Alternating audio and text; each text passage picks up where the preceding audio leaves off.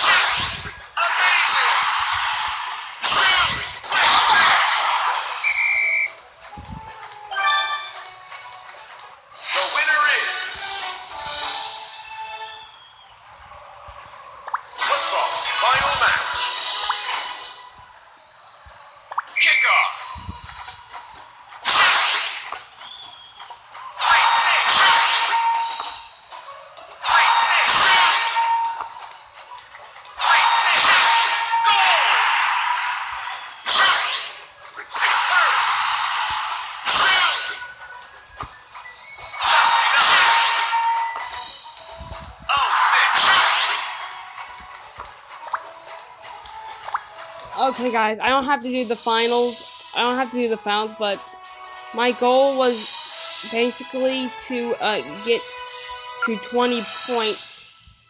I did it. It was uh, kind of really stressful, but anyway, I hope you enjoyed. Bye.